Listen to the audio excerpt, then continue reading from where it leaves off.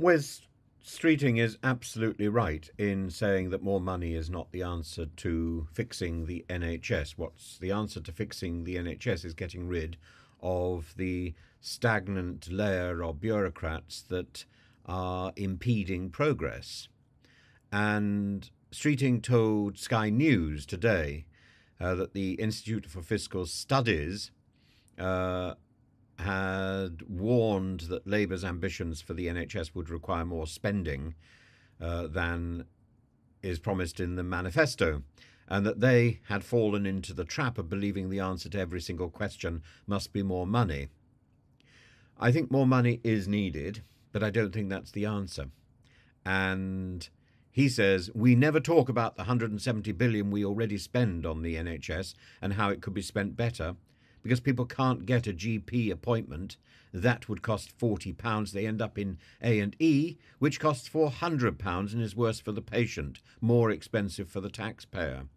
We've got to break the system whereby GPs, for example, don't work weekends, whereby the um, the the, pa- the patients can't get seen at the best time, which is before the real damage is done. Picking up the price for a serious operation is more expensive than intervening at the right time. Putting people in hospital because you haven't treated them earlier is not only more expensive, but it's more depressing for the population. We need to ensure, first of all, that the bureaucracy which is there is working, which means there has to be a link between the information collected by the GP and the information collected by the hospitals and the information available to the patient. It all has to be the same. I have spoken on here a few times about how when I went into a hospital most recently, the hospital didn't talk to a sister hospital in another trust, even after I directed them to do so, even if they even after they promised to do so, and I was then given the wrong treatment as a result, because they didn't consult. More than that, when that wrong treatment became evident and my wounds opened up about a week or so after I came out of hospital, and I was bleeding then for about 10 days, bleeding copiously to the to the extent that I had to be readmitted into hospital, and um, y- you know it, it was painful and frightening. Uh, and I bled on my notes.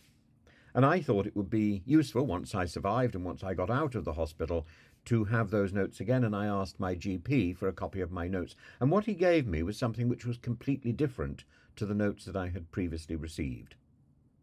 Not only did it look different, which I concede may, may, may be an issue that could be um, accepted, but the information was different. The information had been revised and tweaked and changed to conform with my survival of cancer. And I think that's wrong. And when I'd cleaned off the original notes, I was able to compare the two versions completely. there, there was almost nothing that was consistent in those two sets of notes. And I don't think I trust that sort of system.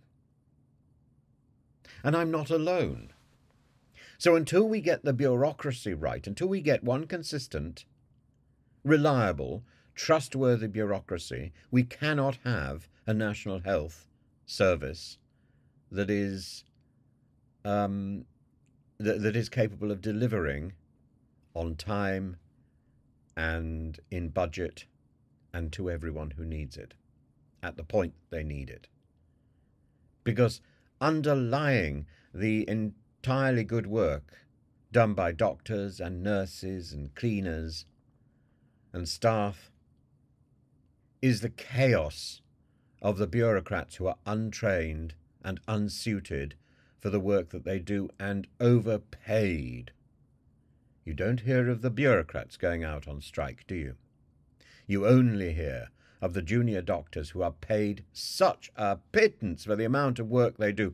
I remember again going back to my last time in hospital when I was had been diagnosed with cancer. And on my last day, I remember two junior hospital, two junior doctors, one on each arm, desperately trying to get a uh, to, to get a needle into my arms to take blood and in the end they both gave up. They they ended up trying to do it in the thumb, which is a particularly painful place, having gone all the way down the arm. Both of them. And they were so stressed. And I'm afraid in the end we all had a giggle and but they gave up because they couldn't do it because they and their and their time was so constrained. I urged them to go off onto somebody else because they didn't need to do it. And finally they agreed. Later on, there was an extremely, extremely capable nurse who had got blood out of me before, and um, she did it in about two minutes. So it's about stress, and it's about uh, too much too much stress, too much responsibility put on the shoulders of people who are overworked.